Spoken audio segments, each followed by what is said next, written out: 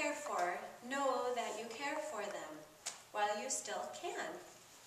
Fellow Toastmasters, tonight I'm going to share with you two stories, one about my grandmother and one about my two-year-old son. And I will try not to cry too much.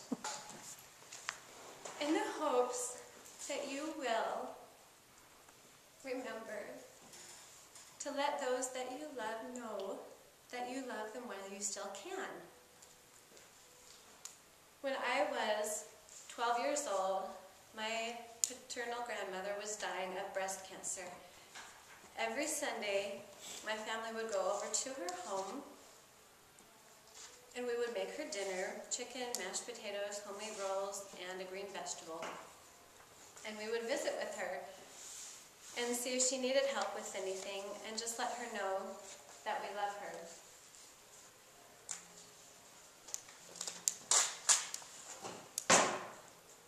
This is a picture.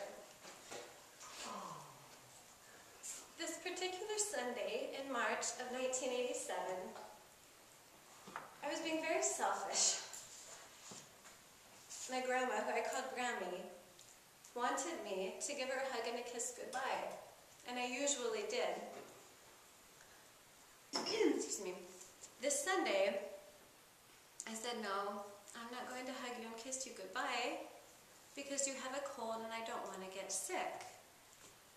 What was going through my mind was she looked really old and her hair was falling out and gray and she was wrinkly and I kind of thought she was getting gross and as I said, I'm very embarrassed. This was very selfish of me. 12-year-olds are often selfish, and I was no exception. So I chose not to say goodbye to her, and I simply waved. My dad hugged her and kissed her, and we left. That was the last time I saw her. The next Wednesday, we got a phone call that told us that she had died out of the blue. She was gone, and I did not take the opportunity while I had it to let her know that I loved her. And it pains me to this day.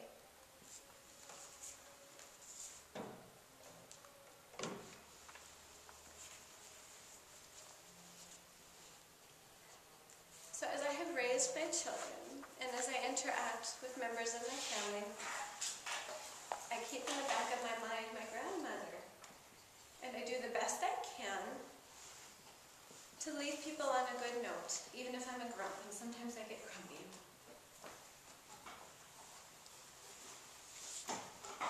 June 12th, 2011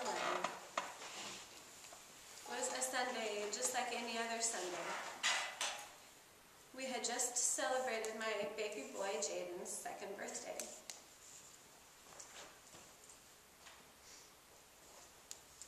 And we got up like we do every Sunday, early.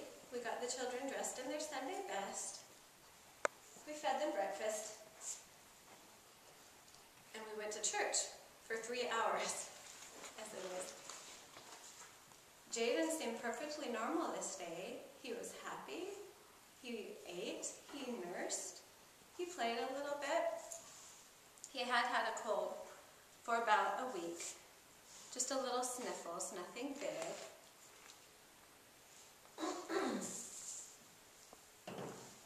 we came home from church. and at that time, my husband worked in Seattle, Washington during the week and commuted home on the weekend. So I helped my husband pack his food, and we sent him off to Seattle.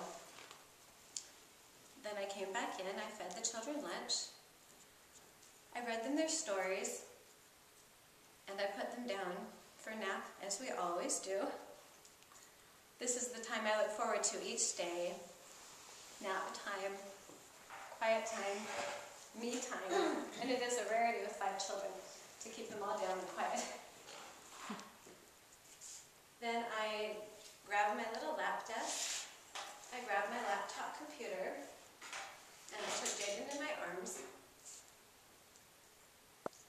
and we we settled into the living room, where I would nurse him to sleep, and then I would study or blog, or just do things that I cannot do with five children bouncing all over me. So I set Jaden, I crossed my legs, and I set Jaden in my legs, and his, his head was resting on my right arm, and I nursed him to sleep. And then I, I kind of laid him down when he was done nursing. He laid an arm, his arms were like this, and he was asleep. And even after having five kids, I still worry that something will happen in their sleep. So periodically I would look down at him and make sure he was still peach and breathing. And a couple times I looked down at him and he was peach and breathing.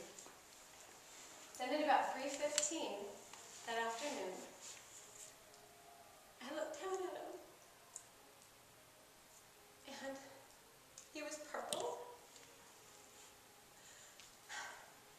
His eyes had a really vacant, they were open. He was as still as anything. And his eyes had a vacant, distant look, and they were glazed over.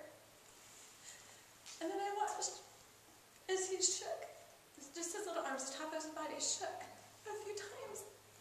And his eyes rolled up in the back of his head. I had no clue what was going on. So I got up, carrying my boy, and he was stiff. And I grabbed the phone. And I ran outside into my driveway thinking maybe I will run to one of my neighbors. I have nur two nurses and a firefighter within a few houses of me. I was wondering if I need to call 911. That's why I had the phone.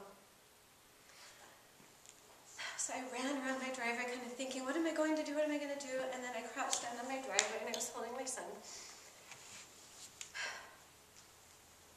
And he turned blue.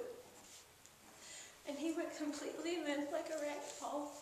And I could not feel him breathing. And I could not feel his heart beating. And I did call 911 sometime and all that, that jumble.